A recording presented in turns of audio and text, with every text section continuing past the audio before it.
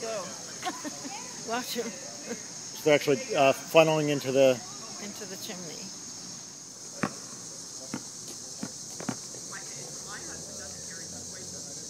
See how they get closer together and swirl.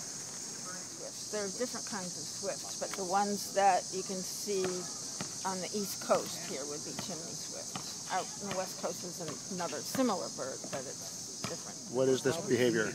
They, they might still be feeding. They feed on the wing, eating bugs and whatever's around.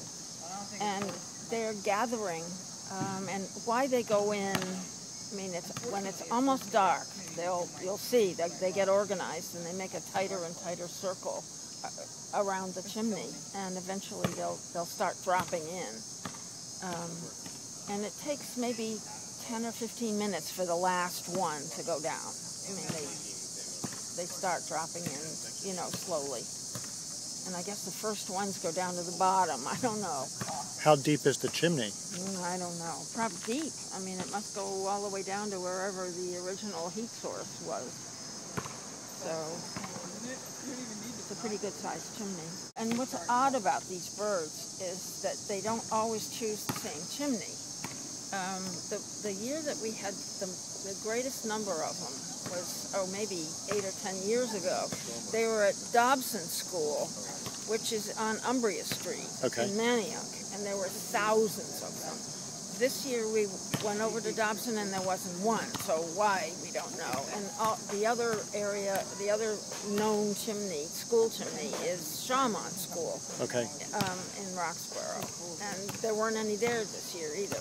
So this this is the one that they this is the chimney that they seem to be preferring this year. And they Um, roost uh, inside the chimney? inside the chimney And how do they do that?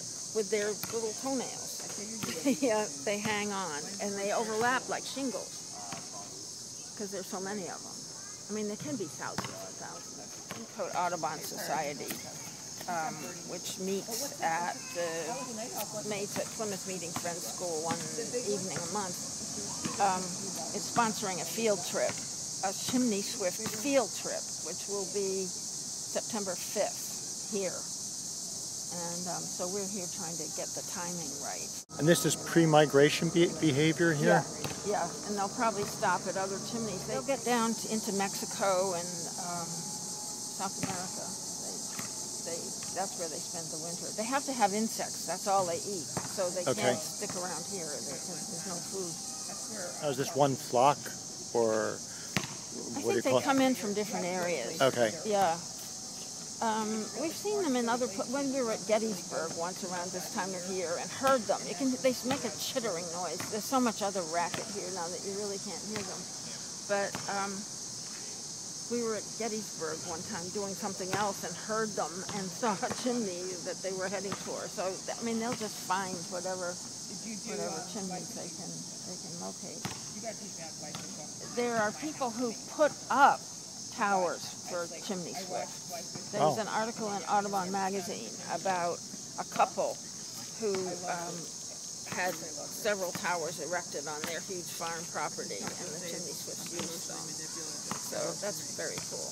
I wish somebody would do that around here. But